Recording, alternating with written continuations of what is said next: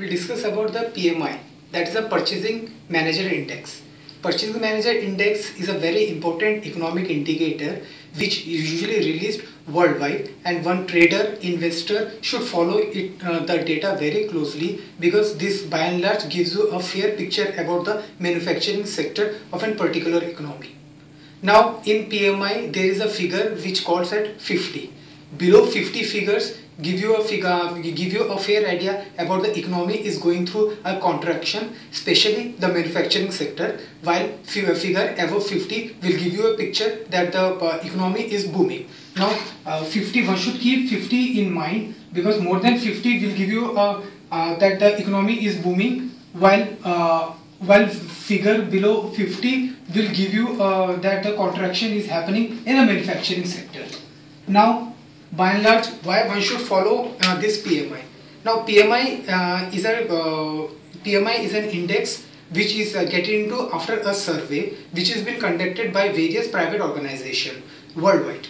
Now ISM uh, manufacturing that is the International Supply Chain Management USA, uh, Chicago, USA, Markit worldwide and um, JP Morgan are the companies which get into with this sort of a survey and they are com coming up within data. However, investors and the market participants closely follow the uh, data releases by ISM and Markit because they give you a more concrete picture about the particular index. Now, the point which comes in the mind is uh, why one should follow PMI and how it has been calculated.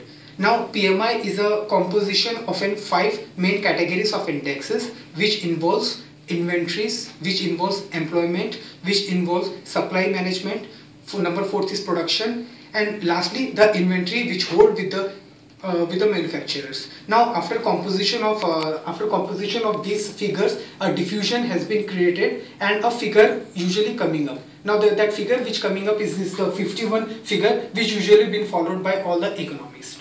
Now the now why what are the strength of this ISM which is very important? Now the importance of this uh, PMI is it is a figure which usually releases on the first day of every month will give you the fair picture about the manufacturing sector.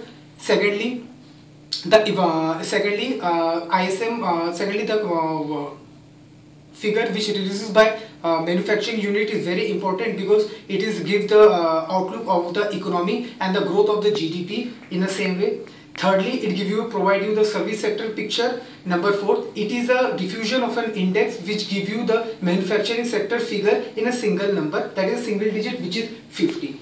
Last but not the least, uh, uh, economist and investor and market participants should follow ISM closely because this is a this is something which is been followed by economists and the figure which is above 42.2 gives an idea about uh, the over a period of time is this figure uh, comes up that give you an idea that the economy is booming and investor or new investor should know about the PMI because this is one of the major economic releases.